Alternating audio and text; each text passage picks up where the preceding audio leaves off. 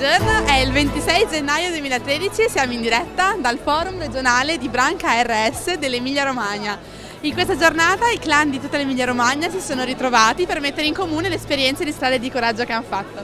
Andiamo a vedere che cosa ci hanno presentato. Abbiamo pensato di rappresentare il nostro futuro e la voglia di cambiamento come un aquilone che potete qui vedere, che è intrappolato da queste canne che rappresentano invece le nostre paure, i nostri dubbi e i nostri.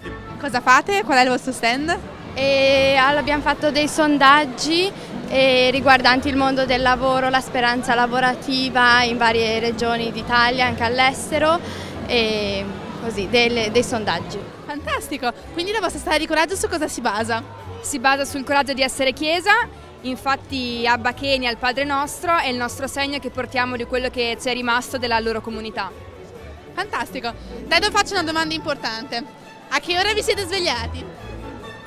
Per arrivare qui? Sì, sincero. Io alle 5. Tu alle 5. Che cos'è la vostra strada di coraggio che siamo in questo bellissimo stand verde? Abbiamo scelto la cos'è per noi farsi ultimi e facendo, cioè, facendo delle riflessioni e intervistando delle associazioni che comunque si sono hanno, che per noi si sono fatte ultime appunto. Abbiamo capito che cioè, per noi farsi ultimi è presa di coscienza.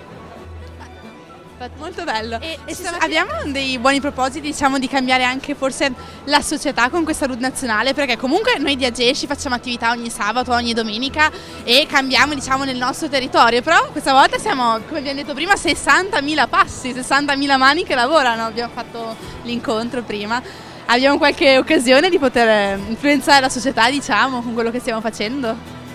Se il gioco dello scautismo rimane qui dentro, dentro la nostra rotta o a San Rossore quando ci vediamo, è una partita persa perché sicuramente questo non può essere. Noi dobbiamo cercare di migliorare il mondo e dobbiamo impegnarci al di fuori e questo sarà il compito di tutti, noi capi ma soprattutto dei rover e le scolte che dalle loro esperienze cercheranno e torneranno nel mondo e porteranno il loro contributo. Ne sono pienamente convinto. La GESCI, l'associazione, non avrebbe senso se non contagia anche il resto del mondo coraggiosa. Allora volevamo fare la stessa domanda. Chi è una persona coraggiosa o che caratteristiche potrebbe avere?